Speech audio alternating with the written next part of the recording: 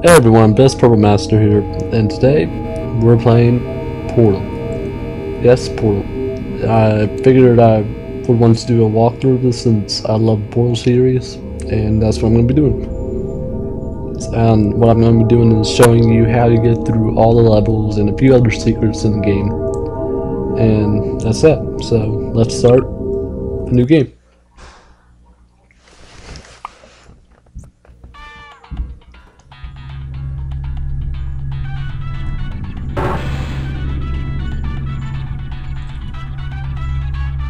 So first off, you start out in this little containment area, in that bed of course, and you can interact with some stuff using your pickup button.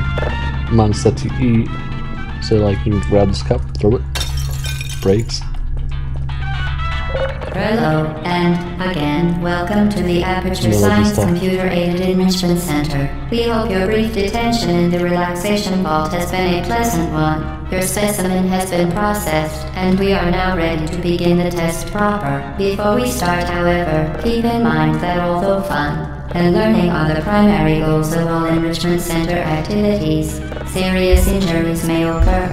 For your own safety and the safety of others, please refrain from donde Stand back. The portal will open in three, two, one.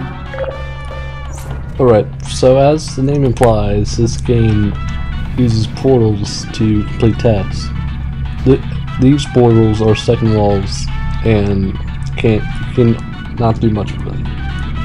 You see this radio here? If you take this and notice it has green, it would be red if I didn't do this already, but I already did. So come over here, you hear the static.